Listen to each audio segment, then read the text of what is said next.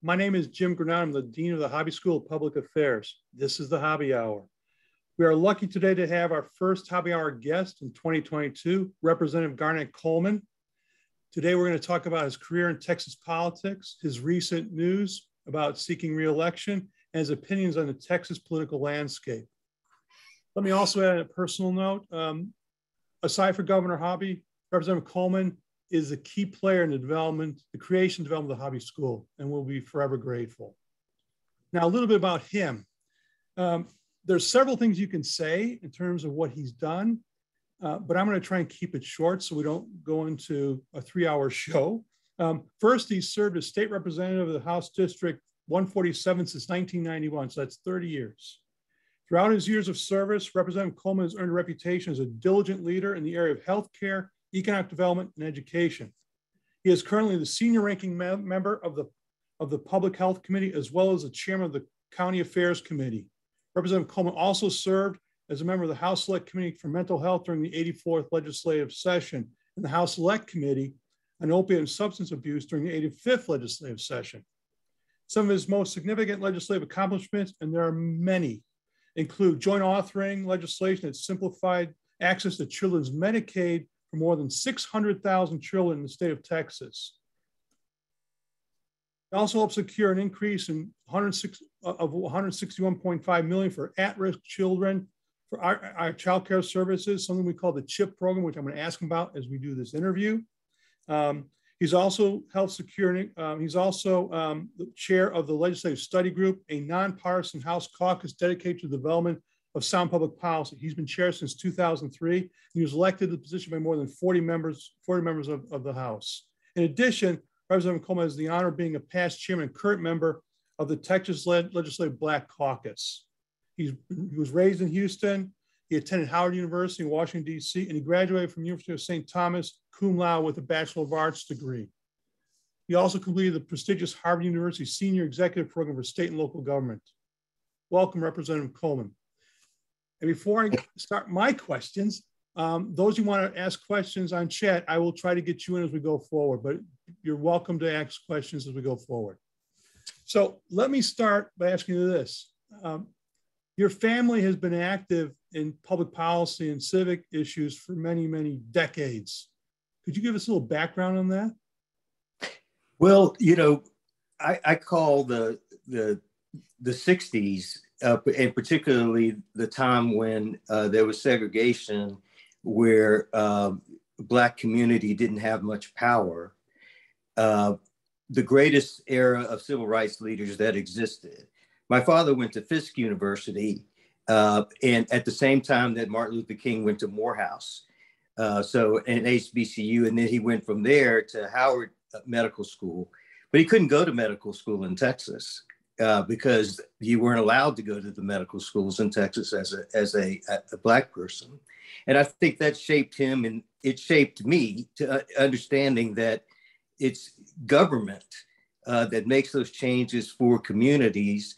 Uh, and he was a leader in that aspect. He did it in a different way, though. Uh, he was he he taught us that you have to vote, that you should give money, you should raise money, you should be involved and you should tell people uh, what the needs are, but you don't have to be bombastic about it. I got that from my mother. so, so it's uh, it's it's one of those things where uh, the public sector was always important, um, and, and and the same applies to my mother's family. Uh, my godfather was part of the team that worked with uh, Thurgood Marshall uh, and the, he was the Houston professor at Howard Med School on segregation cases uh, to desegregate schools. Uh, so, so you know, it, it, it's because that's what everybody did. There wasn't anybody who didn't do that.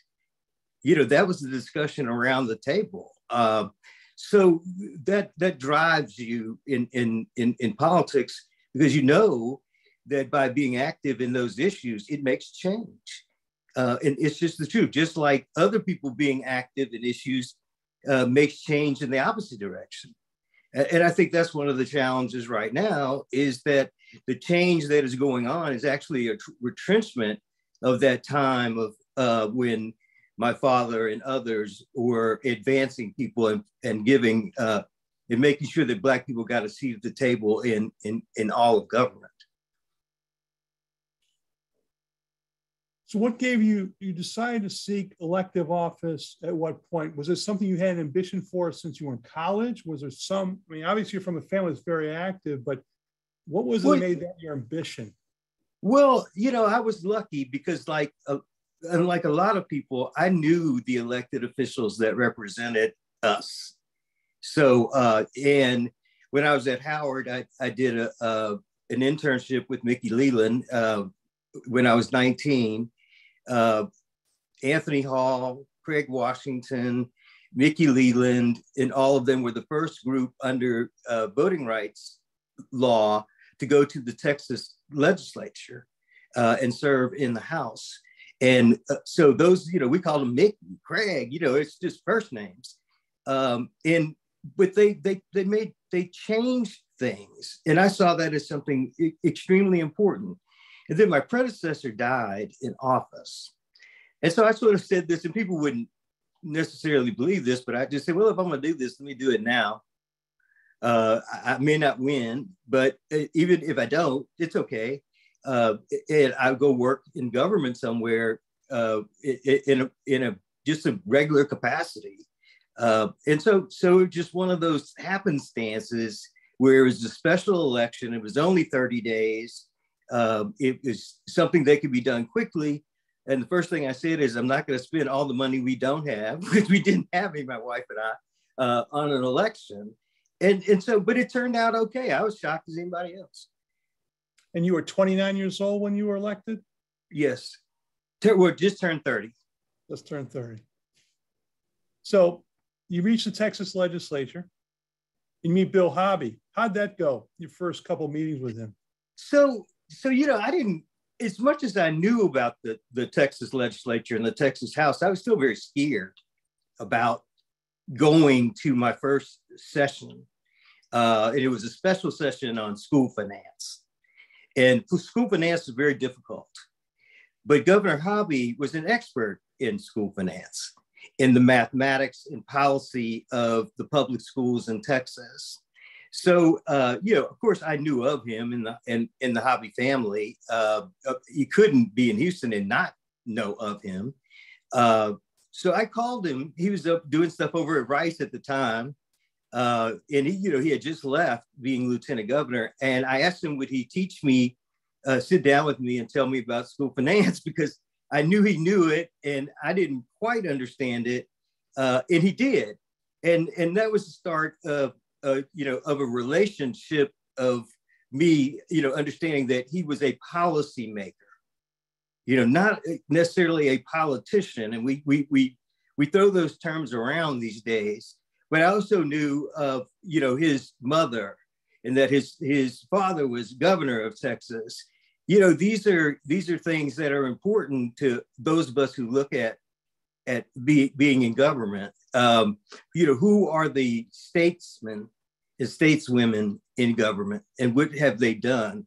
And and so he was uh, lieutenant governor while uh, mickey and craig and all of them were in in the house. And then craig went to the senate and served under lieutenant governor hobby. So these are people that were the, the you know the towers uh, in public policy around me that I grew up looking at, and and so so they had great influence on me. And and you know we don't have that many political families. Just like I admire the Bushes, uh, th- this for the same reason. It wasn't about the politics; it was about the policy. And and so that's what I admire Governor Hobby for. And uh, when when it came time to to look at uh, the School of Public Affairs and had changed the name of the Center for Public Policy to the Hobby Hobby School. I mean, to the Hobby Center for Public Policy, and then we developed the Hobby School. This is very important because you know we have to remember the people who moved us forward. If somebody were to say, "Well, would Governor Hobby get elected today?" No, he wouldn't be elected lieutenant governor. And so it's very important that we honor the people who change things. The indigent care program in Texas is because Hobby passed it. We wouldn't have indigent health care without Governor Hobby, among many other things. Now, you've had a 30 year career, and let's focus on some of the main issues, you main policy challenges you you have passed legislation and led the led the efforts on. First, let's talk about the Texas Medicaid and Children's Health Insurance Program, also known as CHIP. It began in 1999. Is that correct? Yes, I believe that's right. So, what was the impetus? I mean, and what? How did you go about getting the support for this? I mean, this is not an easy thing to get through, correct? So we have to remember that that the so first of all, Pete Laney was very Speaker Pete Laney was very interested in children's health care. You know, the, the Clinton tried to do health reform. The Booby Prize for not getting health reform was passing on the federal level the CHIP program. And then states could opt into uh, the CHIP program. So we decided as the House, and I was a member, I was writing uh, uh, Health and Human Services budgets on the Appropriations Committee and on the, the, the Health Committee. Uh, so I got involved in passing the legislation in Texas. So I was a, an author of, uh, of the CHIP program in Texas, uh, one of the main authors. Uh, and then also Children's Medicaid. And, and so what we did was simplify how children and families with children enrolled into the Medicaid program because that was the program that should was decided to be seamless with CHIP. CHIP, you could have a higher income, but at a lower income, they were, you were in children's Medicaid. And so I'd been working on getting people health coverage from the day I walked in the legislature. Uh, and this was extremely important to me. I mean, and important to everyone. So I was one of these people who wouldn't take no for an answer it, it, it just was gonna it was gonna happen uh, and i think that just before that i realized that you know that was i didn't i guess it, came, it was my passion but it was because of watching my father uh, as a physician uh, how he cared how he thought of his patients he was an obgyn but i was around doctors uh, you know growing up and if you couldn't get health care well what did you do right and so insurance is what determined whether or not someone could get health care. It, it, it is just simple as that. Right. So you follow up CHIP, which was done in 1999 with the Health Disparities Task Force in 2001. Was that just basically the monitor was going CHIP, or was it was the ambition much bigger than that? So here we go. This is much bigger than that because I started working on health disparities and uh, coverage uh, for people when Clinton was president and working with Surgeon General uh, David Satcher. And they had an initiative out of the federal government was uh, 100% healthcare and zero disparities. And so by putting health disparities, so by putting the task force together, the idea was to integrate uh, the eliminating disparities into all of health and human services in Texas. Uh, and that's what it, was supposed to do. And then so we created the Office uh, of Health Disparities uh, and started working on that process uh, in, in the early 2000s and starting actually in the 90s. So, so it's, it's one of those things that that was the issue. I mean, we knew it. I mean, we knew there was uh, it, that it, that healthcare was not fair. Uh, we, we, knew that it wasn't. It so what do you do? What do you do? You have to go do something about it. Uh, and so that's how I, I, looked at everything is that uh, we have to solve these problems because quite frankly, they're all remnants, uh, remnants of, uh, of uh, segregation. Right. So fast forward to 2011, you've got the 1115 Medicaid transformation waiver. What was that about?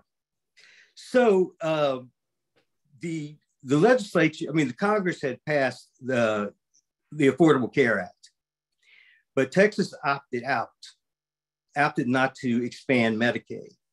But a part of the Affordable Care Act, the states that didn't have a robust expansion of health care got a waiver to uh, to prepare for a, new group of people who were going to be insured. So I got really involved as a member of the Public Health Committee, and, and of course, it was money, so it was the Appropriations Committee. uh, in making sure that we passed the waiver, uh, and we did, uh, that would bring money in to uh, to provide services in hospitals as well as uh, in offices, uh, and with that, change how we delivered services.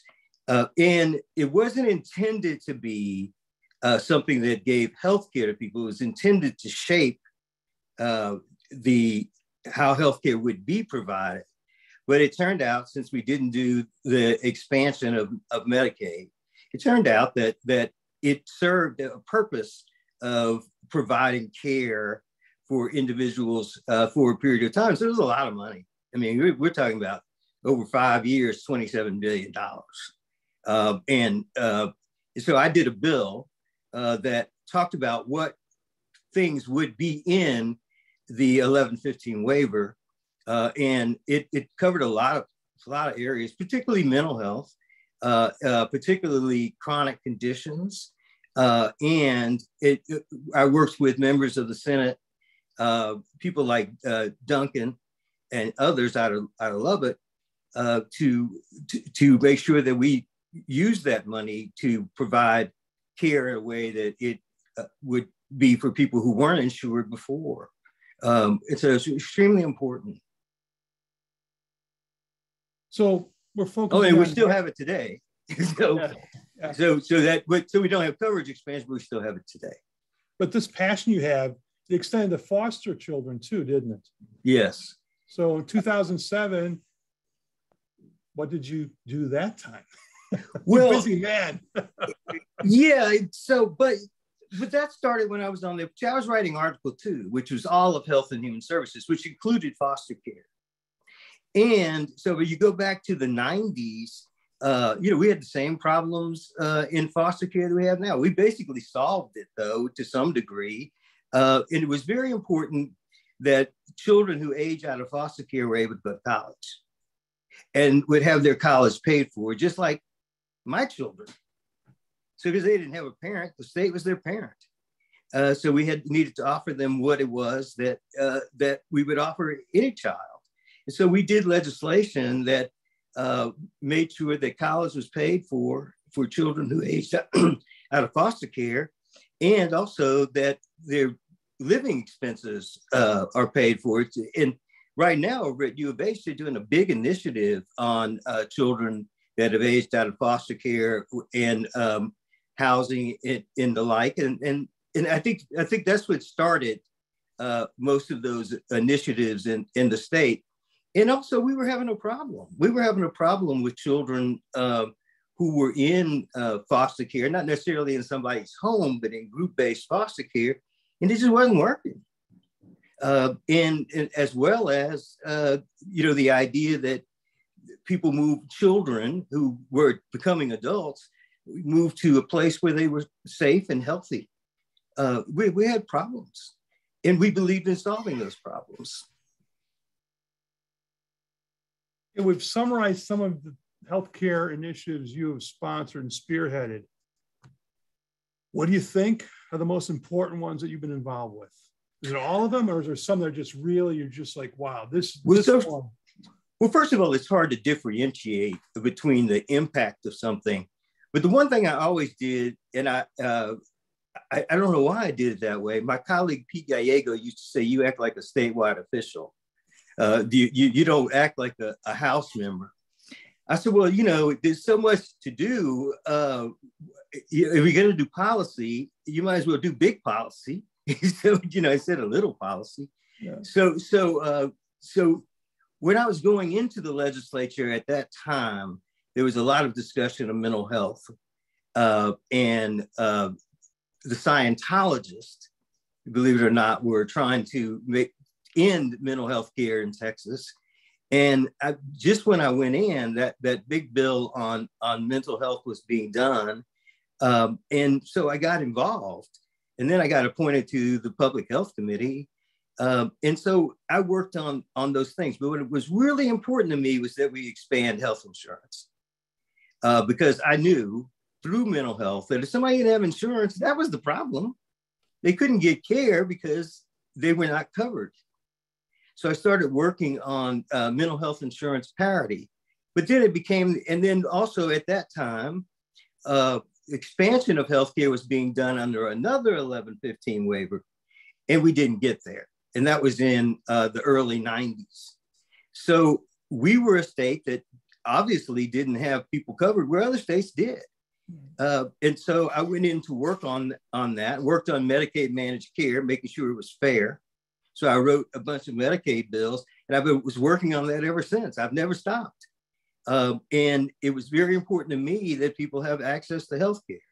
So that is a glue through the whole my whole service, which I think I would say culminated. That was 10 years ago, but has culminated with working with the Obama administration under uh, to to create and pass the Affordable Care Act. There were 32 of us, um, and so I was on the White House working group of state legislators for health reform, and uh, things had been taken out of the law, uh, and, and, that bill put most of them back when Texas uh, Medicaid was stripped in 2003. So, so this is just something that I, I, I see it as a, a, a rights issue. Um, and it was very clear that other states were providing more services. We actually ended some services uh, under Craddick and, and, and under Perry. Uh, so, you know, we actually did retrenched on providing uh, services in Medicaid and healthcare. So, what makes you and I, who have state insurance, uh, able to able to be well, is that we have state insurance. We have health insurance, and so people out there that don't, uh, it's catch as catch can. Uh, and if we didn't have the indigent care program, which I did an update on that Governor Hobby made sure passed, uh, we would have, those folks would have nothing, absolutely nothing. And it's different in different counties. So, so this to me is so very important because you can't get it, you can't, you can't get help for any illness, whether it's HIV, whether it's mental health, whether it's postpartum depression, uh, whether it's women's health, uh, overall, uh, whether it's sickle cell, uh, whether it's diabetes, it doesn't matter what it is. If you don't have health insurance, you're just SOL. So I think I know the answer, I'm going to ask it. You're, you're moving in this direction. What policy changes do you think still need to happen in Texas? I think it's basically insurance, insurance, insurance. Is that about right? That's correct. So, you know, because of what happened that states had to affirmatively act to do the Medicaid expansion because uh, Texas sued uh, and we lost that case on the federal level. So that's why we don't have Medicaid expansion. And what I wanted to do was finish my work. It, you, you know, it wasn't finished. Uh, so we've been fighting for that for the last 10 years. And the state of Texas, unfortunately, has been brought, tried to bring the Affordable Care Act, uh, Obamacare down since the beginning. Uh, and the only way for it to work is that it come out of Washington, D.C., instead of coming out of the state. Instead of the state requesting a Medicaid expansion, the state, the, the federal government would need to uh, mandate a Medicaid expansion that is within the uh, the law passes Supreme Court muster uh, and can do that. As a matter of fact, that's in the Bill Better Act that's pending, uh, that we would expand Medicaid in the states that haven't done it. Uh, and that would be the law if we pass the Bill Better uh, social services part of the Bill Better Act. And so that would actually finish it. It would, in Texas, would not have to ask for it. Right. So you know that's really uh, it's it's still not done. Right. So when you look at it that way and you start talking about, well, is it done? No, it's not done. Uh, as a matter of fact, the problem is it it should be done, uh, but people are still fighting against it and using the courts to undo it. But I, I believe that if we pass the Bill Better Act that has uh, you know the child care uh, stuff in it has these for the 12 states, uh, excuse me, the, the, states that don't have Medicaid expansion actually expand it from the federal government side, not from the state side, uh, uh, that that would end in that challenge that that we have. Um, and and so I'd like to finish things, and it's just not finished yet.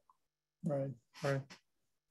Well, I have other questions for you, but we're starting to get we're starting to get um, the audience is starting to raise issues. These are I mean different things. I want to go to these because these are important to me, and I think to you as well. The first one's from Texas State Representative Jon Rosenthal. First, he wants to express his sincere gratitude and respect to you for all you've done. And he, as he says, the mountain of work we know about that you've done, arguably even larger body work behind the scenes. And he said he's benefited personally from your mentorship and leadership. So shout out to you from him. But he's got a question for you. Do you plan to continue actively mentoring and growing and developing staff and candidates and newer legislators like him to help us become more effective policymakers? Yes, I'm just a phone call away.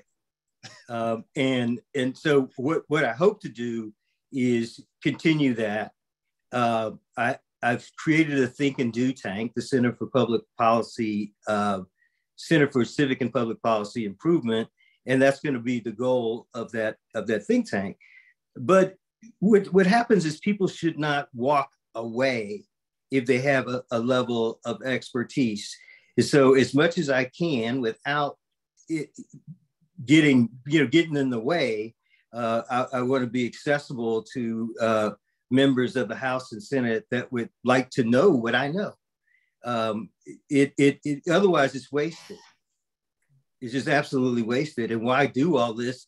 And then, and I did it. I, you know, I'm a student of of the policy process, and will continue to be. As a matter of fact, when I worked on the Affordable Care Act, I became a student of the Congress. Um, and it's extremely uh, interesting uh, that I did a lot of federal work as a as a state legislator. Uh, it so it it I, I, hope to continue to do those kinds of things, Jon. Um, and um, it, I, I, I appreciate I, I, want to make sure that people understand. But you know, people have to make their own way. But if somebody asks me a question, I'm going to answer it. Uh, and and sometimes the rules will change and things like that. But it's just like me asking Governor Hobbs why about uh, school health, school uh, you know, the, about uh, making sure that we did school finance. He knew. Why go to somebody else? He knew, you know, and I think that's the whole point. Uh, we have many people out here who know, um, and we should take advantage of them and not send them out to pasture just because they left. reach out one more time, one more question, and we'll go back to some I like to ask you. Um, so you were actually, when you first elected, you guys were the majority, Democrats were the majority, right? Correct? Yes. We so, were the majority in the House until 2003. Right. So that you've lived through that transition. So the question from member of the audience is how can a minority party, minority party members stay relevant when you are have a one party state government? And how do you get your initiatives on the agenda? Obviously, you've done so, but what's the strategy? How, how are you able to do such things? Well, first of all, it has to be good public policy. So you can't just go do stuff that's bad public policy. Uh, and so when uh, Speaker Laney was was Speaker, we did a lot of uh, pieces of everybody's policy. So it could be conservative, it could be very very progressive. Uh, it it could be it was a mix of things. Uh, and so policy is not Republican and not Democrat. It depends on the goals and objectives. However, today in terms of the policy harm that is done, it, it is expanded. Uh, and the activist side of the Republican Party uh, has gone is front and center. Uh, and it, it really is a challenge. Although, I, like you said, I continue to get things done. Last session was very tough. It's absolutely, uh, you know, it's COVID was a problem too, but it became, I think, combative from a policy perspective. The policy that you passed really couldn't do much. Uh, and the policy that we passed as a legislature did a lot to go in the opposite direction. So it was very similar to 2003, uh, when a, a, lot of what I would call retrenchment policy was passed uh, in that 2003 session. But you know what? There are times to do things different ways. so, you know, when Craddick was speaker, I was part of the, the leadership of the opposition, uh, you know, for six years. That's all I did. Um, and, and I knew that, that that was a value at that moment. But when it came to 2009 and we elected uh, Speaker Straus, I said, you know, it's time for me to get back into actually passing policy. So that, that's what I concentrated on uh, is actually getting policy passed and so you become a lot quieter when you're doing that. Uh, you make relationships across the aisle, but also in the Senate. And so you make sure, I used to carry a lot of John Montford bills. Uh, so who was going to kill John Montford's bills? And I used to carry, I worked very closely with uh, Governor Ratliff and who's going to kill Governor Ratliff bills. Uh, worked, so it's, it's that kind of thing And if it's good public policy, you know, it'll it'll it'll ride its own way. Uh, however, finding good public policy has not been one of the objectives. So before we close on this issue, we've been talking about healthcare and health health issues, health policy.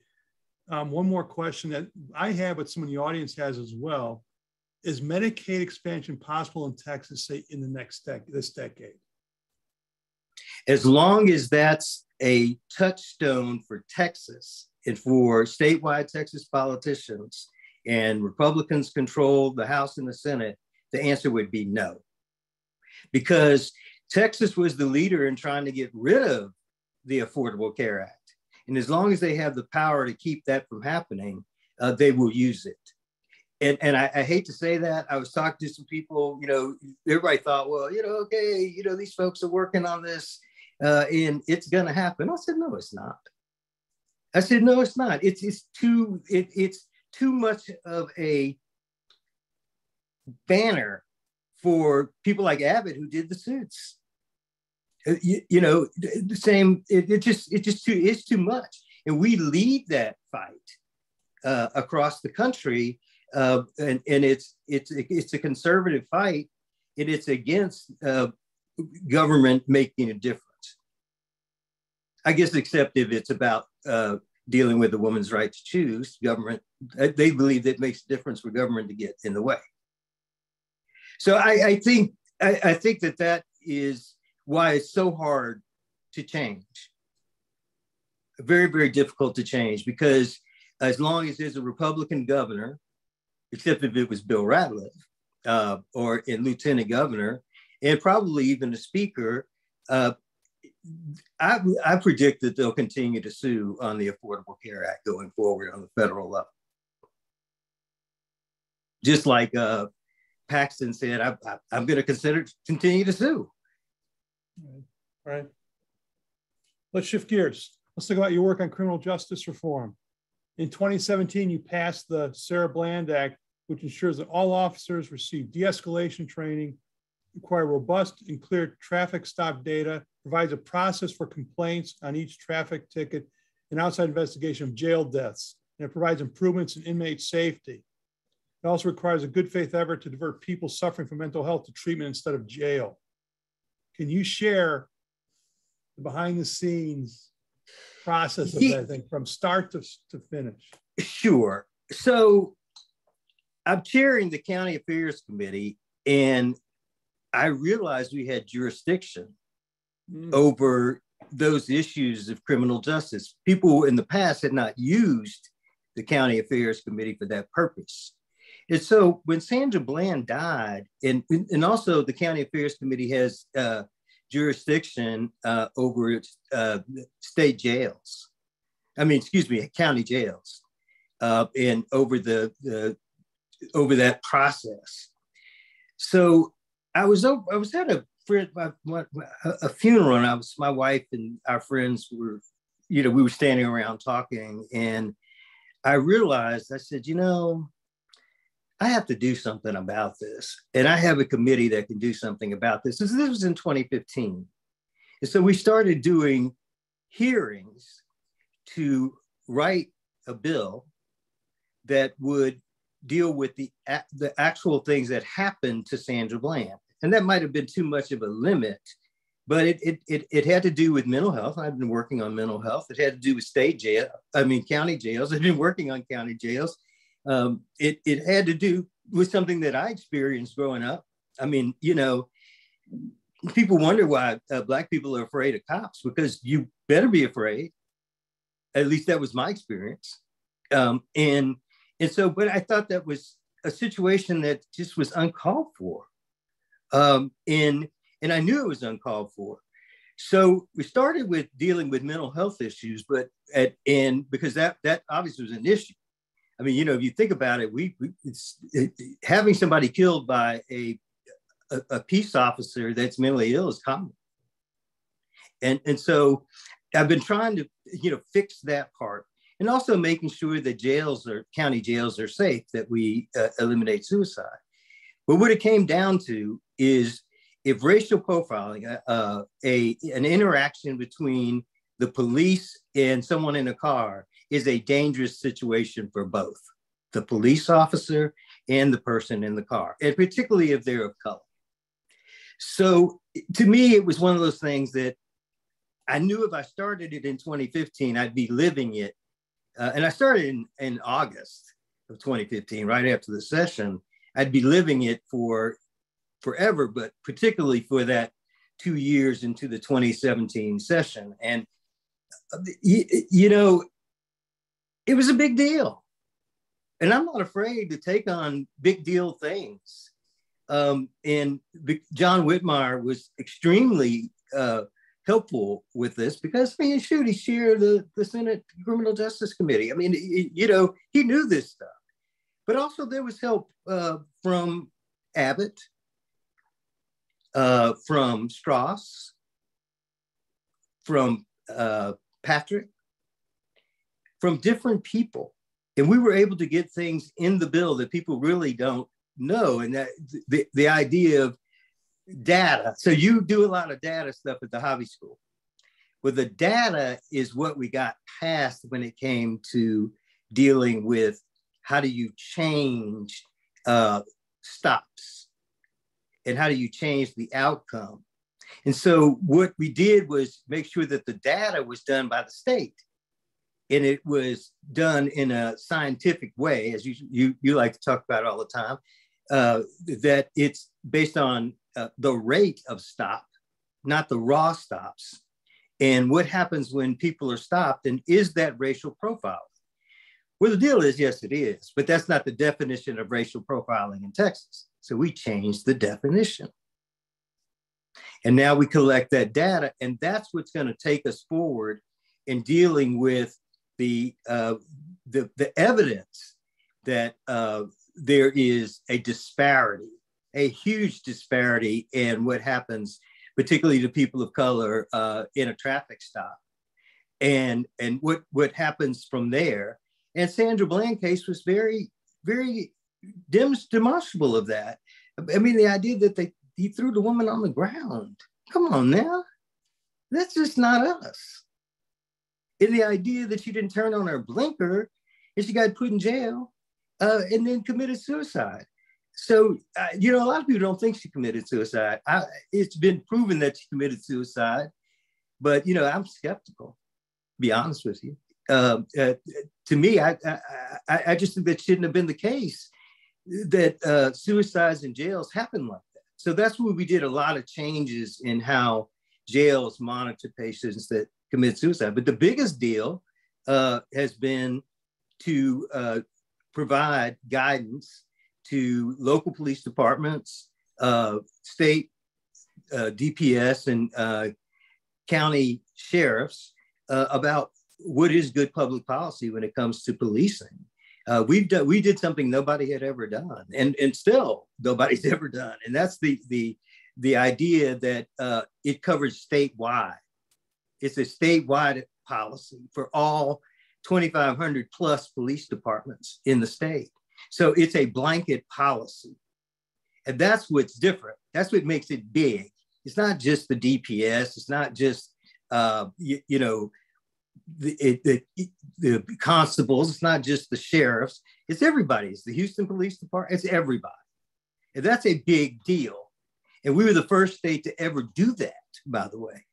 That's I want to interrupt you for a second. So that so states are laboratories for policy, right? It's a, fed, a federal system. So here's this initiative. So have you been contacted over time by members of other legislator legislatures to say we want to try this? Give us some advice on this. Has that happened? A lot of that happened now. Yeah, it happens. I mean, it happened on healthcare. I used to uh, chair the NCSL Federal Healthcare Health Committee, uh, and I was part of the Reforming States group with Milbank Memorial Fund. I, you know, the, I, I did a lot of stuff like that, I, it, particularly in the '90s, um, and yeah, we we tra- we uh, exported policy and we gathered policy, particularly from smaller states, who was easier for them to make that policy, and we could scale it up uh, in in Texas.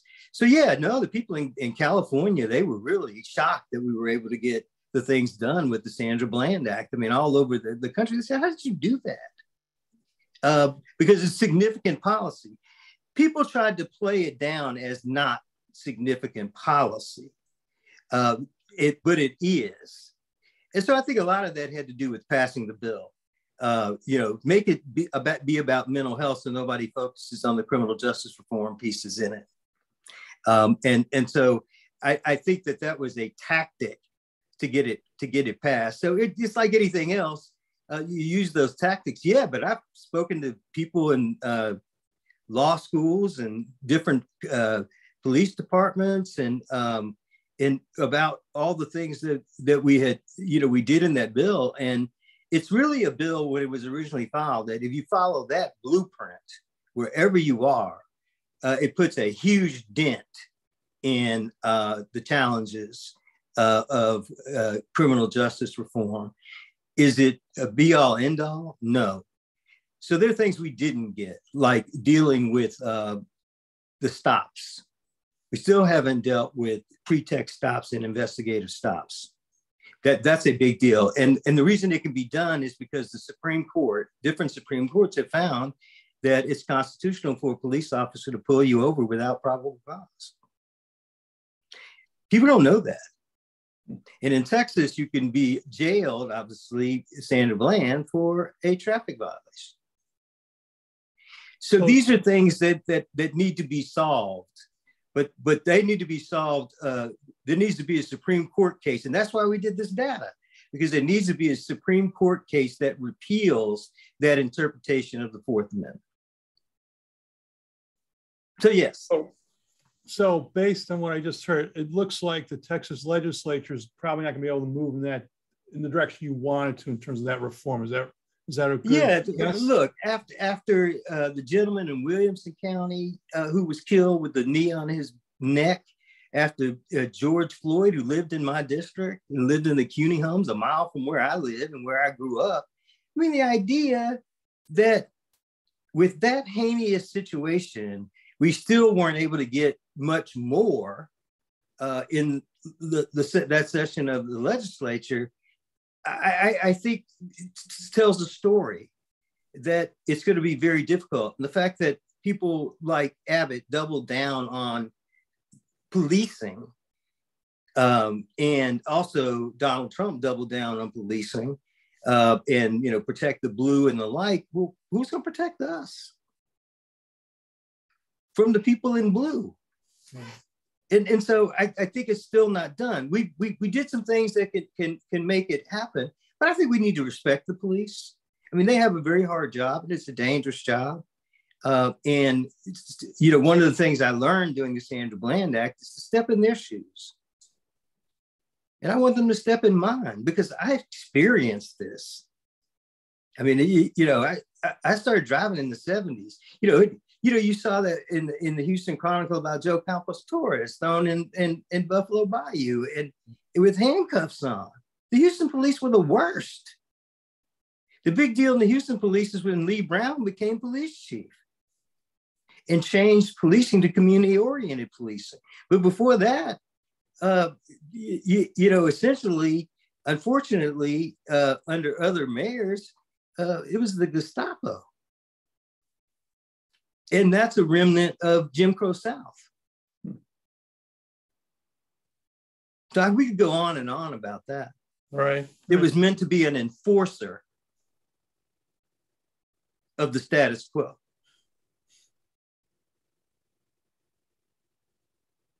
Again, lots of audience questions. I have to. This one you may want you may want to avoid answering, but I have to ask you. This That's okay. the, the, the following question is this: As you know, the race for your house seat is highly contested. I'm curious if you're considering endorsing any candidates in the primary. And then they ask why or why not. So you're on the hot seat here. no, it's okay. Uh, so first of all, when I ran, uh, I self-selected to run, and uh, there were other people. There were 11 people in the special election. 11. So when you think about it, I think I think the people should make those decisions. I'm not here to make a decision for the people. I decided to walk away from from from being the state representative.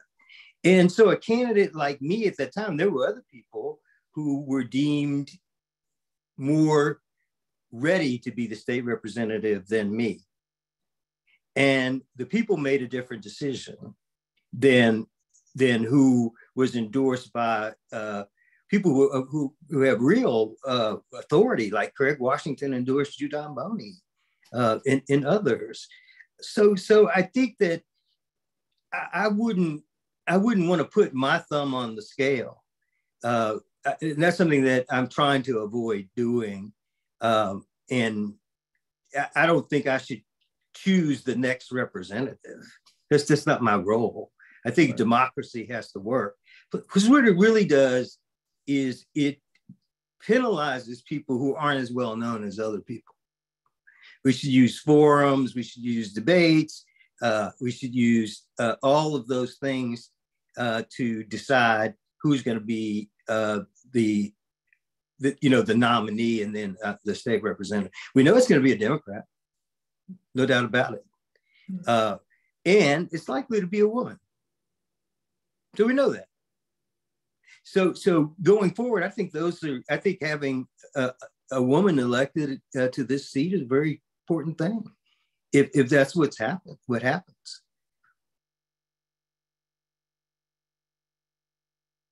Your vantage point. What are the major challenges facing Houston, Texas? What are the things you really want us to address? We need to finish our rail plan we we we will sprawl and and there's no way to solve the traffic problem. So when Bob Lanier, you know, who uh, was Bob who was a Bob Lanier chair there, when they killed rail, I was still for rail. I was still for an expanded transit system uh, and bucked the system at that time. Uh, and still, it now it's changed because of Lee Brown, but but I think that's where we're behind as a city we, we you can't get to an airport. It will happen uh, in the district that I represent now to Hobby, but you you you go to Chicago and get to the airport on rail. You can go to uh, LA and get to the airport on rail. It's putting in. You can go to DC. You can go to New York. You can, you can go anywhere else, the large cities in the country, and move around with with public transit. And I think if we're going to continue to grow the way we grow, and even though people say, well, that's not the most important thing.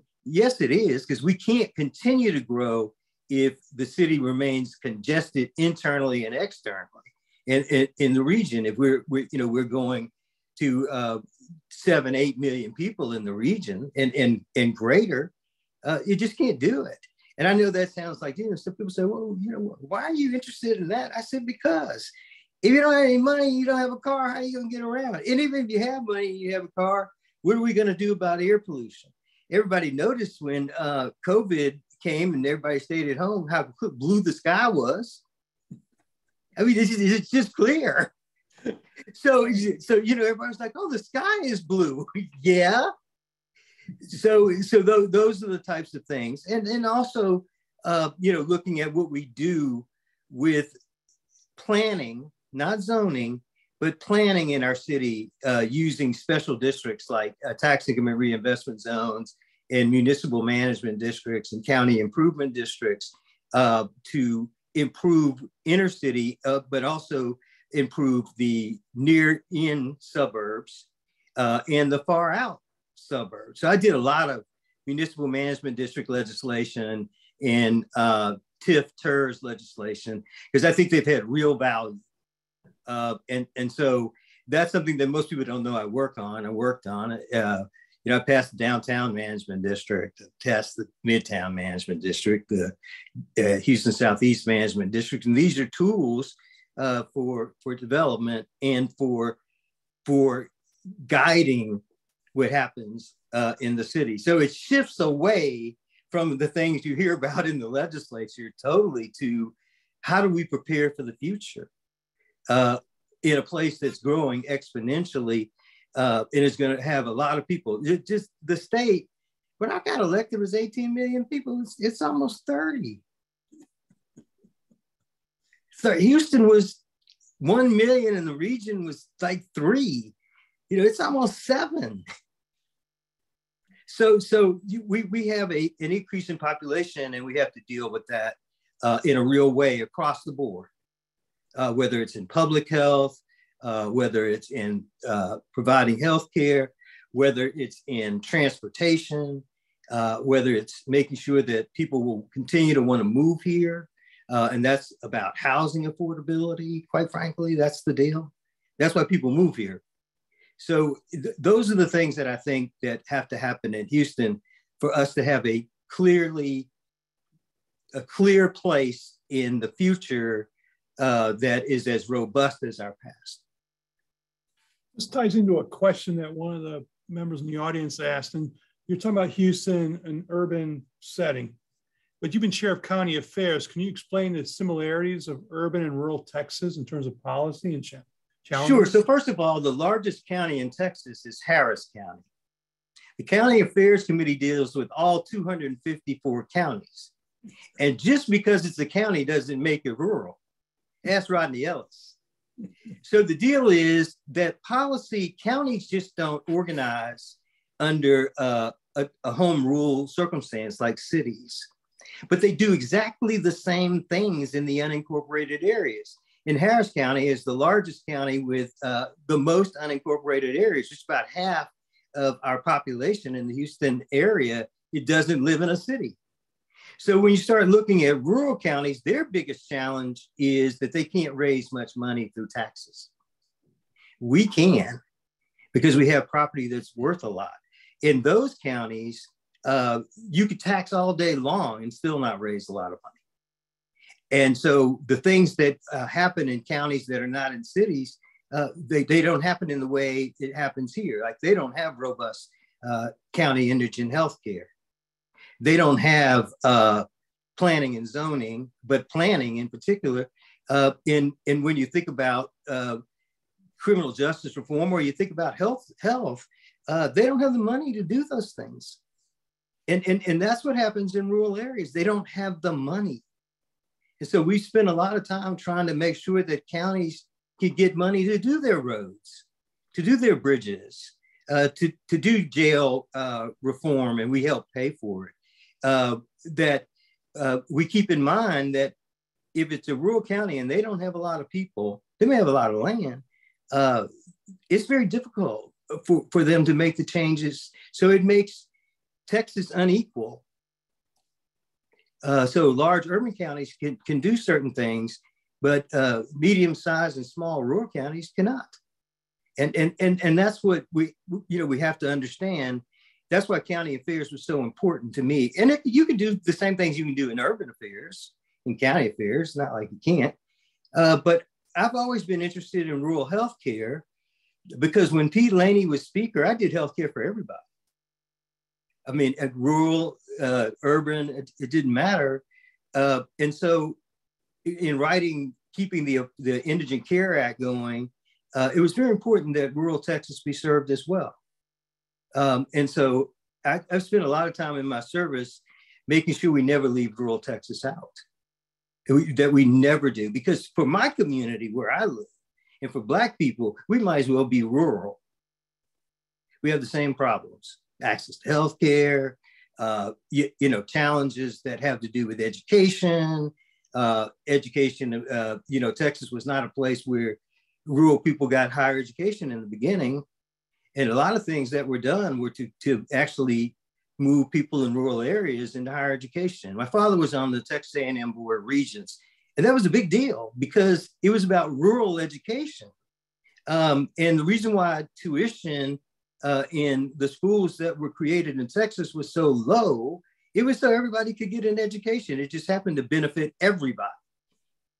Not and and so I think that these are the things that that that, that make policy works for different groups of people. It could be the same same policy. Uh, it's just that people don't recognize that in, in, in rural Texas, they need those things as much as anyone else.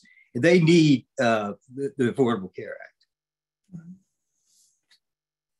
By the way, I'm one of those people that came from out of town that went to a Texas con from Illinois, and the difference in tuition between Illinois, which you would think would be a state that would subsidize things in a big way, my tuition at A and M was Texas A&M was just so much lower, and I was I was stunned. But nothing. As a matter of fact, as a matter of fact, when I got to the legislature, uh, it was twenty six dollars a semester hour, and it was in I can't remember exactly the year 2000 2005 something like that when we could quote unquote tuition dereg that allowed uh, in universities to uh, increase tuition. But what people don't know is what happened is money was taken out of those universities and they had to make it up by raising tuition immediately. Right. And we didn't have a system of scholarships. We didn't need it because people could work a part-time job at school like U of H. Somebody could work a part-time job and pay their own tuition, particularly when it was four dollars a semester hour. Now, you have to have a scholarship. You have to have uh, people. Uh, you know, it it it it it changed everything, um, and that's a challenge because what that does, it made it equal. If you're a black person and poor, you could do a part-time job if you're a white person and poor or, or uh, blue collar or whatever the case, a family or rural, you could afford to go to college. These are things that people could afford to do, and that's what's changed Texas. But by making tuition so high, it has not, it, it doesn't allow people to do what it is that they need to do uh, to take advantage of the need for uh, undergraduate degrees and graduate degrees uh, in robust tier one universities uh, and, and to be able to afford it. In the remaining minute or so that we have, I've got this final question or quest, two questions really, it's two parts. So you've been in legislature for 30 years. You announced in November that you would not seek reelection. What factors influenced your decision? And more importantly, what's next for you? Health was a big part of it, but also disgust. I mean, you know, last system was really bad.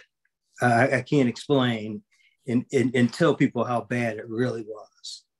Um, and it's that kind of atmosphere where I, I couldn't get anything done. Uh, and I passed bills, but you know, they didn't do as much. And as a matter of fact, we passed a lot of bills that don't do anything. And I was very disappointed in that. It's a change in the era that I went in. It changed tremendously. You know, we did public policy. It, it, it, we, we weren't doing public policy. I don't know what we were doing. So, so that's a problem. But my health is why continue to basically kill myself? Uh, and I, I can't necessarily get good public policy passed at all. Um, so at the end of the session, um, I, I, I, ended up getting part of my uh, leg amputated. Um, and it, it just said to me, let some, you know, somebody else needs to go in and do this. I fought 30 years, and particularly in the last 20, to try to keep good public policy going. And I just didn't have the, I don't have the energy to fight it for another 10 and 20. And it could be 10 or 20 years before uh, there's a, a, balanced legislature. Uh, it, it, it, and, and that's just the truth of the matter. Um, and I hate to say that, but it's the truth of the matter. Right. And what am I going to do next? Well, I created uh, like my think and do tank, but I would like to, as as Rosenthal, I would like to have value somewhere and lend my expertise that I learned over the last 30 years uh, to teach other people about the realities of government. Because when you're on the ground in it, it's very, and particularly electoral uh, politics, when you're on the ground doing it, it's experiential.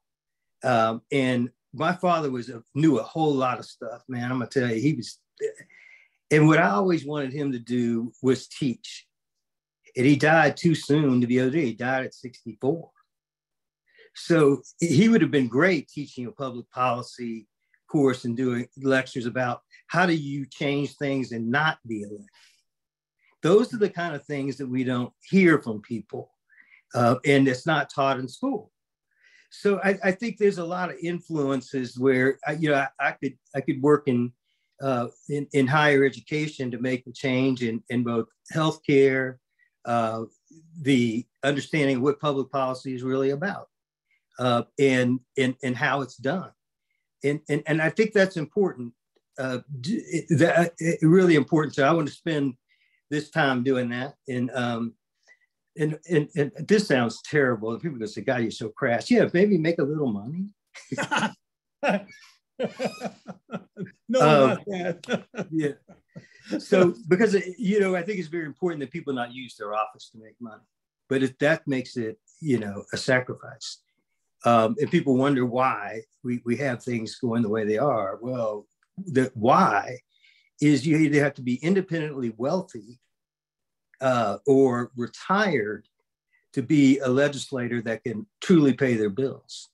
Because who's going to hire you and you don't work all the time? Right, right.